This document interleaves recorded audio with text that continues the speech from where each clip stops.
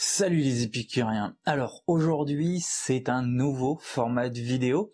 Je l'ai un peu teasé cet été euh, sur Instagram. Je vous propose de vous plonger dans l'univers d'une des plus traditionnelles distilleries du monde, Anden Estate.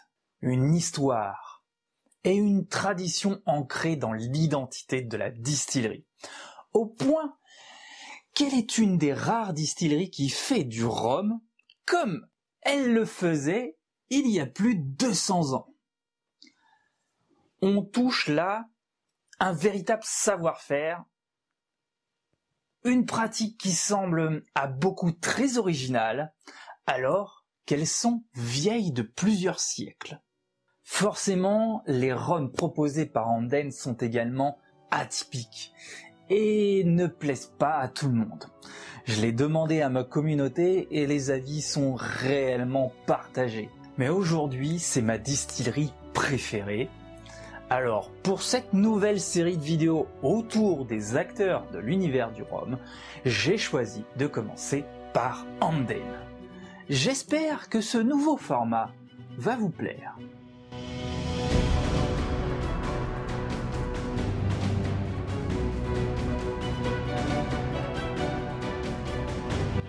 Salut, moi c'est Régis et sur cette chaîne je t'aide à découvrir l'univers du rhum avec toujours plus de plaisir.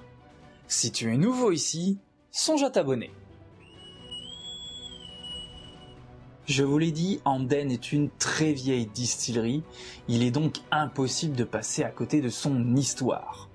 Alors que ça fait 242 ans que Anden produit du rhum, cela ne fait que depuis quelques années qu'elle commence à produire son propre rhum à son propre nom, porté par Luca Gargano de chez Vélier qui ont su vraiment mettre en valeur son savoir-faire, la distillerie a vraiment touché les amateurs avertis. La distillerie se situe à Trelawney, dans la vallée de la Reine d'Espagne, non loin de la pointe ouest de l'île, en Jamaïque bien sûr. L'habitation Amden, Great House comme cela se dit là-bas, est fondée en 1743, mais il lui faudra 10 ans pour devenir une grande plantation sucrière. Elle est alors la propriété de Monsieur Archibald Stirling. J'espère que je prononce bien. La distillerie ne commença à produire du rhum qu'en 1779. Ce rhum est alors vendu directement à la propriété à la Great House Anden Estate. Anden va changer plusieurs fois de propriétaire au cours de son histoire, mais c'est vraiment en 2003 que ce changement va avoir un impact fort. À ce moment-là, elle devient la propriété de la Jamaica Sugar Company of Rome, mais pas pour longtemps. Malgré les efforts du gouvernement pour redresser la distillerie et conserver les emplois, il se verra obligé de céder le domaine aux enchères. C'est la famille Hussey, propriétaire de l'Everglade Farms, qui va reprendre la distillerie et développer pour la première fois une gamme de rhum au nom de la distillerie. La famille Hussey va également réussir partout où le gouvernement a échoué, en créant de nouveaux emplois et en dynamisant la région. Depuis ses origines, la distillerie Amden n'a pas changé son mode de production du rhum. Un mode de production traditionnel avec une manière bien à elle de faire fermenter le mou pour obtenir un rhum à ester, grand arôme. Même si le processus, la recette reste secrète, nous savons qu'elle fait fermenter de 2 à 3 semaines son mou. Pour favoriser et déclencher la fermentation naturelle, elle utilise des dunder, vinasse et mug pit qui vont permettre une création d'ester en très grande quantité. La distillerie propose des marques qui vont jusqu'à 1600 grammes par hectolitre d'éléments non alcool. Rapidement, un marque est le nom que l'on donne à une catégorie de rhum qui a un nombre d'esters précis. Rappelons que le rhum agricole doit être à 225 grammes par hectolitre. La distillerie prétend pouvoir réaliser des rhums allant jusqu'à 3000 grammes par hectolitre. Je n'ose même pas imaginer ce que cela doit être à la dégustation. De tout temps, les rhums à ester ont été appelés les rhums puants, tellement l'arôme est puissant. Mais avec 3000 grammes par hectolitre, ça doit vraiment bien porter son nom. Il y a beaucoup de choses à dire sur Hamden. Son histoire en est une, mais ce qui caractérise cette distillerie et forge son identité, c'est la manière avec laquelle elle procède à la fermentation du mou de mélasse. C'est donc sur ce point que je veux mettre l'accent. En comprenant le processus de fermentation de chez Hamden, vous allez pouvoir comprendre ce qui fait son identité aromatique. Posons les bases. La mélasse utilisée par la distillerie est issue de la canne à sucre de la propriété. Il y a un véritable terroir dans les produits Hamden, mais cela va bien au-delà du produit de la terre. La fermentation opérée par Hamden est un véritable savoir-faire propre à Hamden. Je vous en ai un peu parlé dans l'historique, mais on va aborder le processus de fermentation un peu plus en détail. Hamden n'utilise aucune levure boulangère ni contrôle strict de la fermentation pour obtenir un mou équilibré comme cela est fait dans la plupart des distilleries. Hamden laisse faire la nature. Enfin, elle la booste quand même un petit peu. Hamden utilise plusieurs sources de production de bactéries qui vont l'aider à développer la fermentation du mou. Comme la plupart des distilleries qui font du grand arôme, elles réutilisent les vinasses, le dunder, résidus de la distillation des précédents rhums. La fermentation est spontanée, elle se fait dans de grandes cuves en bois, laissées à l'air libre pour que l'air, les bactéries, les insectes et plein d'autres choses viennent participer à la fermentation du mou. Mais la carte maîtresse d'Amden, c'est l'utilisation du pit. Amden creuse des tombes, ils appellent ça littéralement des tombes, à même la terre. Dans cette tombe, ils vont y verser de la vinasse, des fruits pourris, de la bagasse, et des fois des carcasses d'animaux.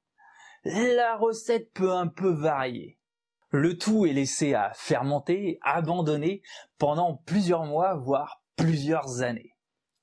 Cette préparation est utilisée pour faire le mug pit, une espèce de boue fermentée qui va être ajoutée dans les cuves de fermentation pour booster la fermentation. Cette fermentation est tellement folle qu'on pourrait penser que c'est Bob Marley qui l'a composée après avoir fumé un bon gros pétard.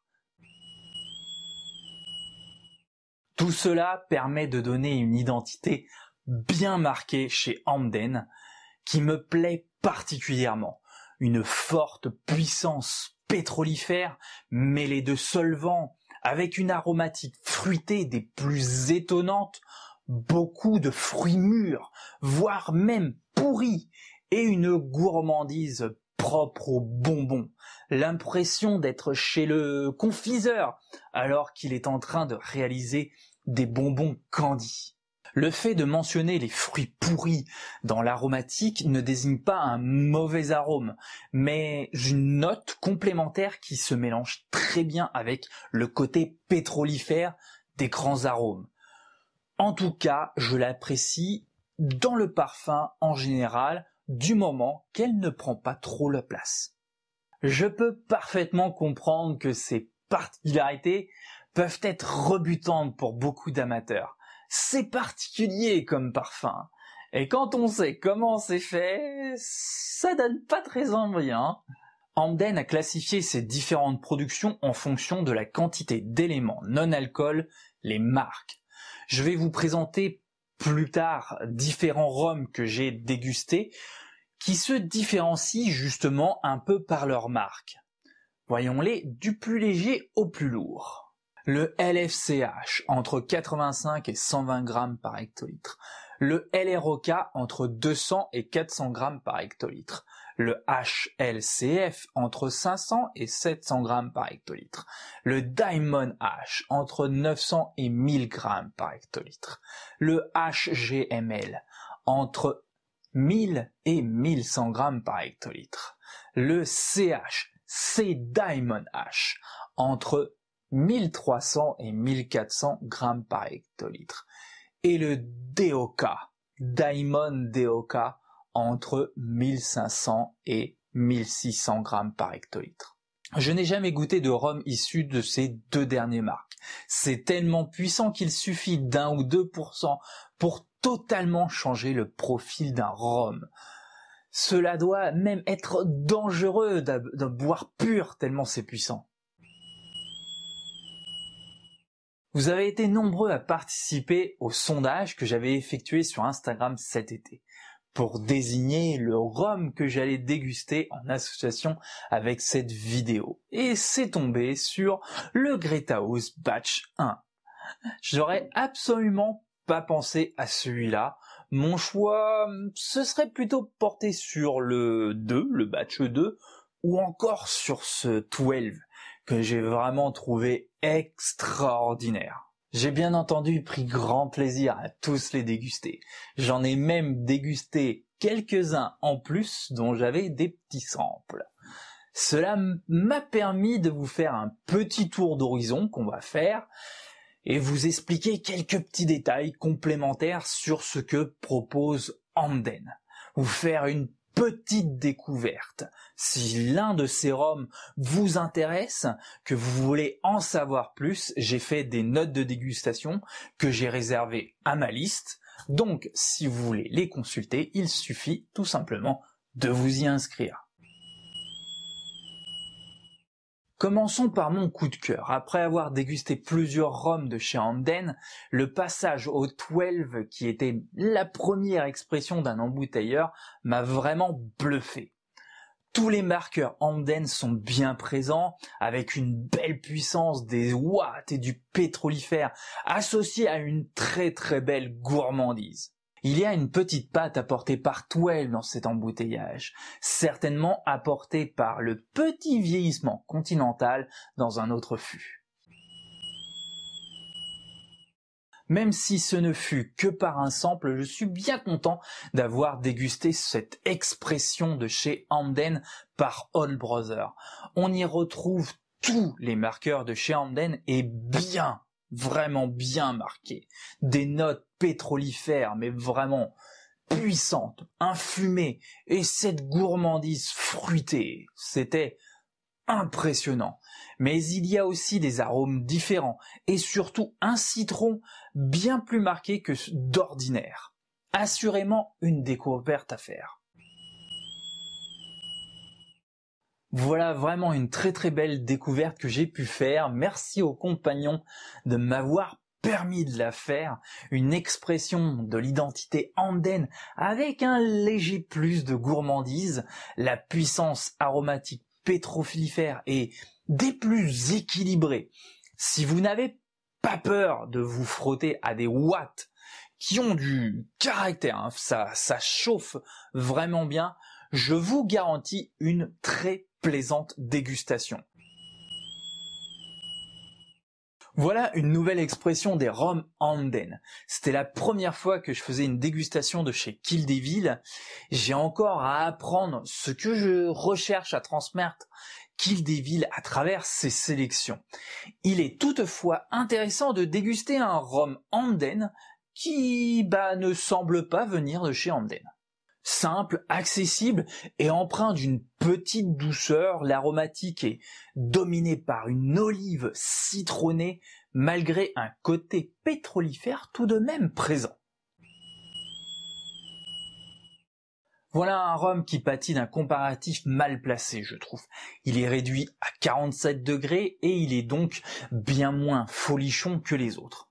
Il est souvent comparé au House ou au LROK de Chevalier pour dire qu'il est bien moins réussi. C'est vrai, c'est le même marque, mais c'est un rhum qui a une autre destinée. Personnellement, je le trouve en comparaison du Mézane XO vraiment très très intéressant.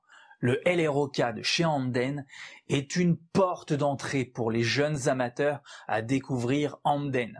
Les marqueurs y sont bien présents avec plus de légèreté et de douceur. Voilà la première version haut de gamme proposée par Hamden.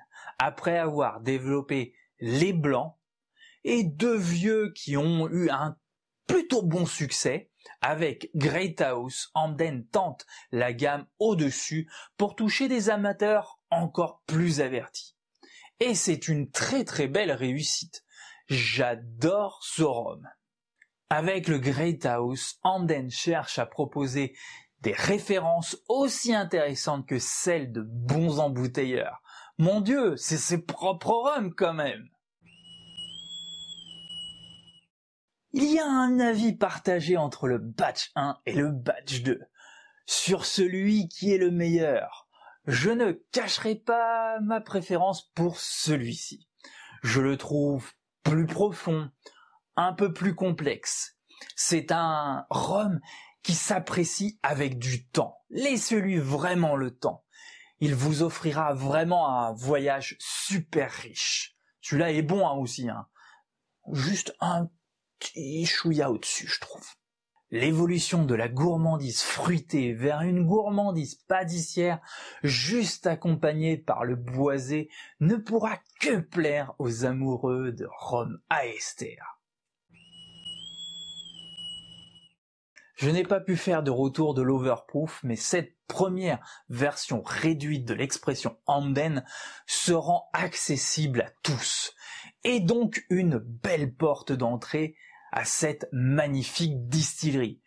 Autant que le LROK, vous pourrez y découvrir tous les marqueurs de l'identité Hamden, mais avec subtilité et équilibre. Le caractéristique pétrolifère, le fruit bien mûr, imboisé, épicé et une plaisante gourmandise. Le petit blanc qui se balade dans la sélection. Je ne parle pas du rhum fire qui est purement fait pour le cocktail à mon goût. Ce rhum est une bombe. Rien que de le verser dans le verre est déjà une explosion aromatique. Malgré que ce soit un blanc, il offre une grande richesse aromatique et une belle évolution. Pure expression de chez Hamden, il vous emmènera dans un superbe fruité empreint de notes pétrolifères clairement dominantes. Son peps le rend des plus idéales pour la réalisation de cocktails funky.